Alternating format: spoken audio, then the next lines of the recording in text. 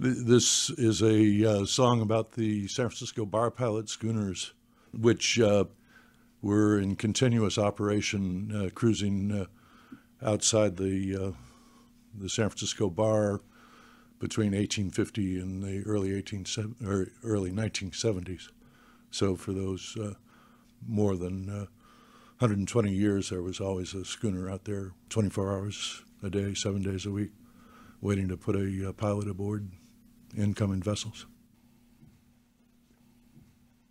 A schooner was cruising out looking for shipping. A schooner was cruising outside the bar. She was always out looking, out waiting and watching to guide in these ships that had come from so far.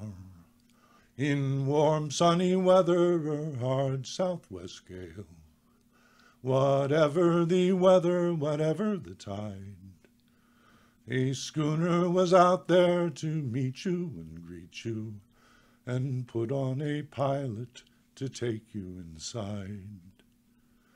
These sleek little schooners developed in Boston with rigs shortened down for conditions out here. They had to be out there in deep sea conditions, standing up to the storms and showing no fear. They could take seas all over and shake them off nicely. They'd live through whatever the ocean might show. They weathered like sea ducks out there on the station. They'd be there to meet you, this truth you might know. So, what were their names, these brave little schooners? And how can we know them through decades so far? Some were lost while on duty, like the poor Caleb Curtis, with seven men dead lost crossing the bar. Or the cheerful Bonita finally sunk by a whale.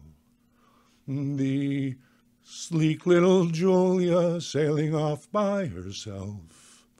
The swift J.C. Cousins run hard on the beach sand, or the peaceful Pathfinder on a hard rocky shelf. But the boats that survived it were maybe the finest. Captain Turner's America was surely the best. She had never been beaten, neither racing nor piloting. She went to the islands and there found her rest. Or the staunch Gracie S., so faithful and strong. For fifty-two years she worked on the bar. She lived to go cruising in the warm South Pacific and died on a reef after sailing so far. We can only remember the deeds of these schooners, sailing outside the bar in their endless blockade. These seamen who manned them, who sailed them, who loved them, would have us remember the record they made. For twelve stormy decades these schooners were out there. Through wartime and peacetime their duty they knew. To put aboard pilots, see safety for shipping, assure that the shipping would always get through.